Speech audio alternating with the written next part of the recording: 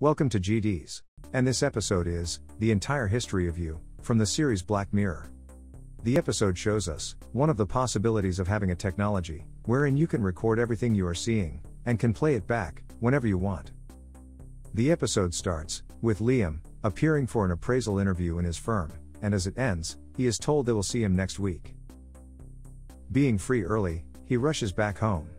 And on his way, he replays his interview, and on replaying it, he notices minor details, and thinks it didn't go well.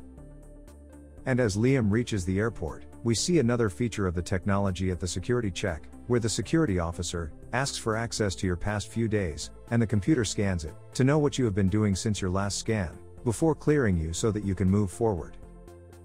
Liam reaches at a house party, where his wife was catching up with old friends, and she was not accepting him to be back early. But nevertheless was happy to see him. And as they sit for dinner, Liam is suspicious of his wife's behavior towards her friend Jonas. Jonas jokes around and even lets them know that he still fancies and replays intimate moments with his previous girlfriends at times. And as they leave the party, Liam invites Jonas to join them in their home for a drink, but he blames his wife for making him do so. But Fiona shows him that it was him who invited Jonas, and if he doesn't want him there, he can ask him to leave. And as they reach home, Liam, in an awkward conversation, asks him to leave. Liam has a fight with his wife and asks her if Jonas is more than a friend, and his wife finally gives in, letting him know that she had a fling with him, and she already told him about it. But she gave him a nickname at that time, and it lasted only for a month. Liam gets even more upset, as she initially told him that it was only for a week, and shows her a replay of the same.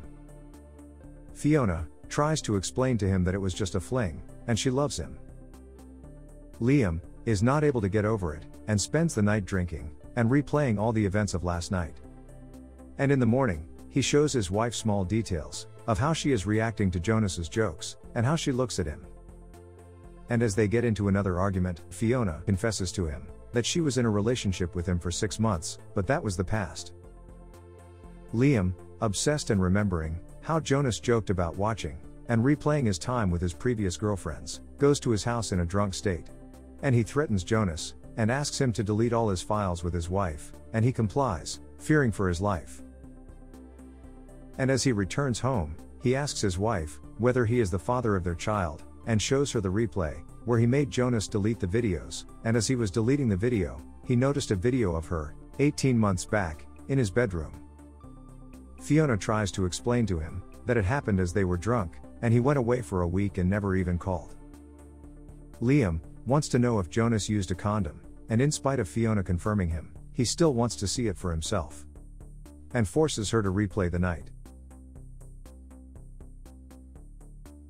And as the episode ends, we see Liam all alone, replaying the good memories he shared with his wife.